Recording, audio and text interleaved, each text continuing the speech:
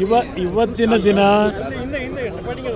ಇವ್- ಇವತ್ತಿನ ದಿನ ಹಳೆ ಶಿಕ್ಷಣ ಸಚಿವರು ಉನ್ನತ ಶಿಕ್ಷಣ ಸಚಿವರು. ಓ, ಇಬ್ರು ಇಬ್ರು ಒಟ್ಟಿಗೆ ಇದ್ದೀರಿ. ಇವತ್ ಇವತ್ತಿನ ದಿನ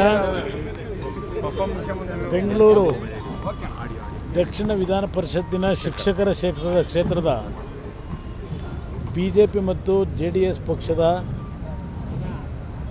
ಎನ್ ಡಿ ಎ ಪಕ್ಷದ ಅಭ್ಯರ್ಥಿಯಾಗಿ ರಂಗನಾಥ್ ಅವರನ್ನು ಇವತ್ತು ಎರಡೂ ಪಕ್ಷದ ನಾಯಕರು ಒಮ್ಮತದಿಂದ ಆಯ್ಕೆ ಮಾಡಿ ಇವತ್ತಿನ ದಿನ ಉಮೇದುವಾರಿಕೆಯನ್ನು ಸಲ್ಲಿಸಿದ್ದಾರೆ? ಅವರ ಈ ಒಂದು ಉಮೇದುವಾರಿಕೆಗೆ ನಾಮಪತ್ರವನ್ನು ಸಲ್ಲಿಸ್ತಕ್ಕಂಥದ್ದಕ್ಕೆ ಹಿಂದೆ ನಮ್ಮ ರಾಜ್ಯದಲ್ಲಿ ಉನ್ನತ ಶಿಕ್ಷಣ ಸಚಿವರಾಗಿ ಕೆಲಸವನ್ನು ನಿರ್ವಹಣೆ ಮಾಡಿರ್ತಕ್ಕಂಥ ಜಿ ಟಿ ದೇವೇಗೌಡರು ಅಶ್ವಥ್ ನಾರಾಯಣ ಅವರು. ಅವರ ಒಂದು ಆಶೀರ್ವಾದದೊಂದಿಗೆ ಇವತ್ತು ರಂಗನಾಥ್ ಅವರು ಏನು ನಾಮಪತ್ರ ಸಲ್ಲಿಸಿದ್ದಾರೆ.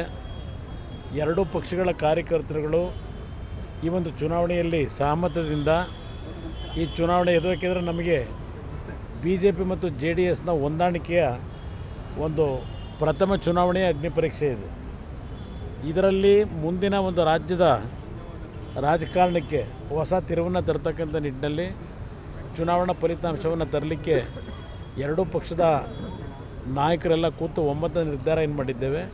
ಇವತ್ತಿನಿಂದ ಈ ಒಂದು ಶಿಕ್ಷಕರ ಮತವನ್ನು ಪಡೀತಕ್ಕಂಥ ನಿಟ್ಟಿನಲ್ಲಿ ಮನವಿ ಮಾಡ್ತಕ್ಕಂಥದ್ದಕ್ಕೆ ನಾಮಪತ್ರ ಸಲ್ಲಿಕೆ ಏನು ಕಾರ್ಯಕ್ರಮ ಪ್ರಾರಂಭ ಆಗಿದೆ. ಹದಿನಾರನೇ ತಾರೀಕಿನ ಚುನಾವಣೆ ಏನಿದೆ, ಇವತ್ತು ಶಿಕ್ಷಕರಿಗೂ ನಾನು ಮನವಿ ಮಾಡ್ತಕ್ಕಂಥದ್ದು, ಈ ಸರ್ಕಾರ ಬಂದ ನಂತರ ಯಾವ ರೀತಿಯಲ್ಲಿ ಇವತ್ತು ಶಿಕ್ಷಣ ಇಲಾಖೆಯಲ್ಲಿ ಇರ್ತಕ್ಕಂಥ ಲೋಪದೋಷಗಳನ್ನು ಸರಿಪಡಿಸ್ತಕ್ಕಂಥ ವಿಫಲರಾಗಿದ್ದಾರೆ ಮತ್ತು ಶಿಕ್ಷಕರಿಗೆ ಕೊಡಬೇಕಾದಂಥ ಗೌರವ ದೊರಕದೇ ಇರತಕ್ಕಂಥದ್ದು ಗಮನಿಸಿದ್ದೇನೆ. ಮೊನ್ನೆ ತಾನೇ ಒಂದು ಉದಾಹರಣೆ. ನಮ್ಮ ಹಾಸನ ಜಿಲ್ಲೆಯಲ್ಲಿ ನಡೆದಂಥ ಘಟನೆ. ಒಬ್ಬ ಶಾಸಕರು ಶಿಕ್ಷಕರನ್ನ, ಒಬ್ಬ ಮಹಿಳಾ ಶಿಕ್ಷಕರ ಬಗ್ಗೆ ಯಾವ ರೀತಿಯಲ್ಲಿ ಒಂದು ಬೆದರಿಕೆ ಮಾಡಿರ್ತಕ್ಕಂಥದ್ದಿದೆ ಆ ಒಂದು ಗಣರಾಜ್ಯೋತ್ಸವದ ಸಂದರ್ಭದಲ್ಲಿ ಇದೆಲ್ಲ ಗಮನಿಸಿದ್ದೇನೆ.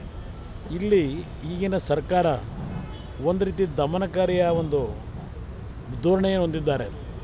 ನ್ಯಾಯಯುತವಂತ ಬೇಡಿಕೆಗಳನ್ನು ಈಡೇರಿಸ್ತಕ್ಕಂಥದ್ರಲ್ಲಿ ಯಾರಿಗೂ ಗೌರವ ಕೊಡದೇ ಇರತಕ್ಕಂಥದ್ದನ್ನು ನಾವೇನು ಕಾಣ್ತಾ ಇದ್ದೇವೆ?